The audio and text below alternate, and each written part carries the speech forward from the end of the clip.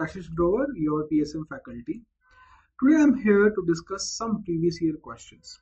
So this is FMG PYQ and uh, a patient presented with diarrhea, dementia and dermatitis. Which of the following vitamin deficiency causes it? See diarrhea, dementia, dermatitis. We know this is pellagra and pellagra is caused by niacin deficiency. Next question. Again FMG question on topic niacin deficiency. Which vitamin deficiency is given in the image? So this image is showing dermatitis. This image is showing dermatitis and this is classically known as Casal's necklace. This is known as Casal's necklace. So this is seen in niacin deficiency. Another question, FMG PYQ. A maize eater with diarrhea, dermatitis, memory loss.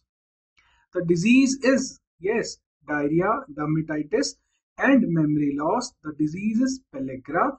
This is caused by niacin deficiency and this is common in maize eaters. Right? So these three were FMG questions on same topic. Now let us see another question.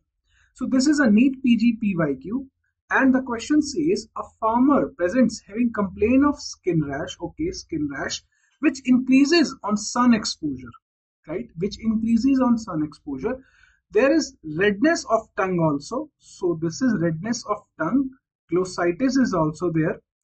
On history, maize was staple diet, right? Maize was staple diet. So we have dermatitis here, we have glossitis here, and maize staple diet. Which vitamin deficiency is responsible for this, right? So this is again niacin. Niacin deficiency causes pellet. IQs are very important, be it PG or FMG. Now let us quickly revise niacin deficiency. See kids, niacin is required for proper functioning of your skin, your intestine and your brain. If niacin is deficient, then patient may get dermatitis. This dermatitis is bilateral and it is seen more over the sun exposed areas. And the classical here is Casal's necklace. And you can see the image here. This is Casal's necklace. Now if intestines are not functioning properly then what may happen? The patient may experience diarrhea. So dermatitis thing is dementia. So dermatitis diarrhea dementia and fourth thing is death. So these are known as four d's of pellagra now apart from dermatitis diarrhea dementia and death you can see glossitis and stomatitis in case of niacin deficiency these are more commonly seen in maize eaters, also in jawar eaters. Now, now coming to next topic. So this is also the very frequently asked biomedical waste management.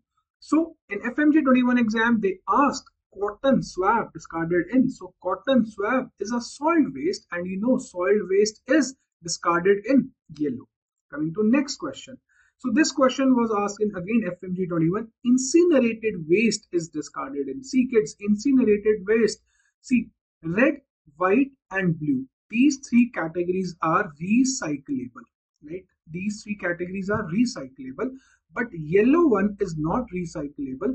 So incinerated waste is thrown in yellow. Now next, blood bag discarded in. See, blood bag is discarded in again yellow category. Blood bag is discarded in again yellow category, but urine bag is discarded in red. So blood bag in yellow, urine bag in red. Now, this question was in NEET PG21 culture plate. So culture plate is a microbiological waste and all the microbiological waste is thrown in again yellow. Next question. Nasal swab discarded in. So nasal swab, again, this is a soiled waste and this is discarded in yellow. So again, you can see same topic with different twist in the question with different question in different exam FMG and NEET PG. We are starting a PYQ series from 13th Feb 12 pm onwards on eMedicoz app. Come join us. Thank you so much. Wishing you all a very good luck.